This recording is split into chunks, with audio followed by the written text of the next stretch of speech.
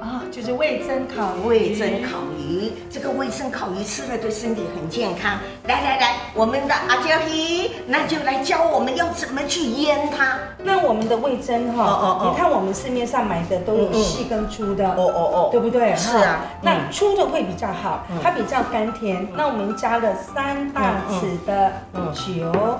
对了，就是要像这样子，像搅一波波这样子把它给搅搅拌哦。好好，味淋它是日本的一个调味，它是用米去发酵的所以它本身又有带甜。那我们也是一样，把它下三匙进去。哦，还是要碰糖一碰特，别要求，他说要吃点糖。甜一点好那我们就加了一指糖，拌均匀就好了。我们先把它铺一层嗯啊。如果说不小心，那我们在市面上买不到这种粗的呢，那我们可以买细的。那细的最好上面有一层那个纱布。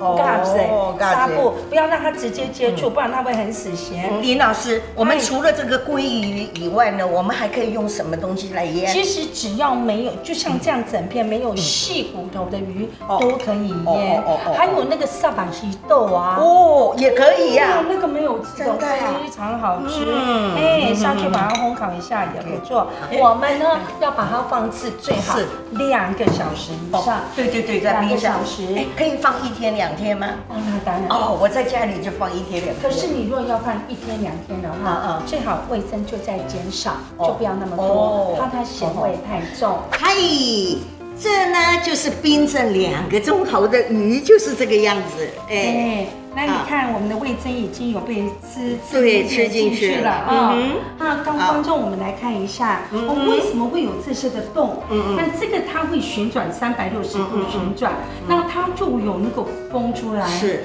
那一般的烤炉，我们放进去了以后，是是。它是不是都是固定在那里？嗯哦，那烤了以后，哎，可能这一面焦，这一面可能没有颜色，是。但是因为我们有带风旋，哦。那我们的风旋一下来了以后是，它里面水分就不会流失。哇了，真的。然后它的颜色都会非常的均匀，是。热度都是在里面，我们也不用中途还要再去把它转面。好，那我们先控制温度哈，那我们就先调一百七十度。一百七十度好，它中央在这里一嗯百七十度。好要多少时间呢？我们大概十五到十七分钟。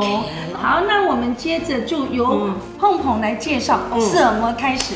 哇，简单，哇，又简单又好用。你看看这个，往这里来就开始啊，你听，嗡的声音就开始烤啦。对哎。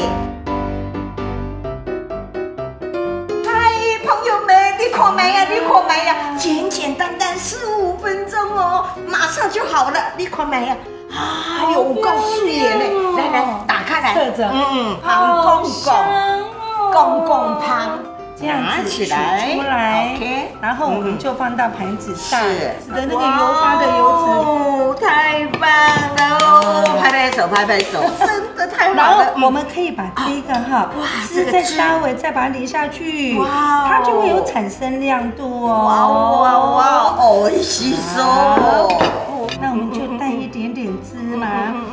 色泽就不一样了。嗯好那我们吃的时候，因为这个它会比较甘甜，那我们可以加一点柠檬。柠檬。哎嗯，它在吃起来才不会这么样的燥啊。对对所以我们就可以把柠檬哦放在旁边，这个随着客人他的喜好啊然后他就可以自己去挤。对。好，那这样子我们就准备哇，就好